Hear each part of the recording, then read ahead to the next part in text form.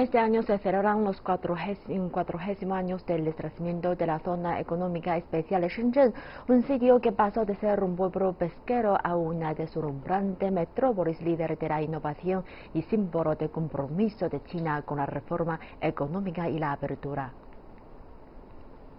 Shenzhen, la sala de máquinas de la tecnología e innovación chinas, es ampliamente conocida como el Silicon Valley del país. La ciudad, con su brillo y glamour actual, era hace 40 años una simple aldea de campos de cultivo y caminos de tierra. Fue hasta que fue designada como una zona económica especial en agosto de 1980 que Shenzhen comenzó a cambiar a ritmo acelerado para crear un modelo orientado a la exportación. Y en 1993 se coronó como el mayor exportador en China y ha mantenido ese título desde entonces. Ha sido un ejemplo para toda China en múltiples áreas. En el 2000, la ciudad fue la primera en el país en cambiar su modelo de desarrollo de procesamiento del comercio a alta tecnología y poco después estaba de lleno experimentando con industrias de vanguardia líderes en campos como el de la biotecnología y los dispositivos portátiles.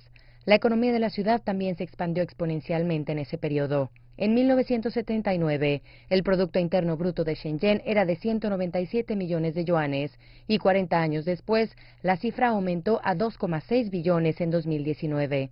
Asimismo, su ímpetu de crecimiento permanece fuerte.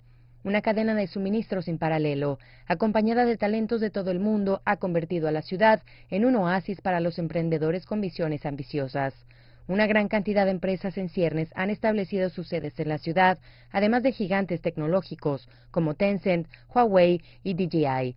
No obstante, tras avanzar a una velocidad inverosímil en las últimas cuatro décadas, la ciudad también ha enfrentado incertidumbres, incluyendo el caos creado por la COVID-19. Pero la zona económica especial sigue muy bien posicionada a sus 40 años de edad. El año pasado, Shenzhen fue nombrada como zona piloto de muestra y ha asumido un papel principal en la escena de la gran área de la bahía Guangdong, Hong Kong, Macao. CGTN, en español.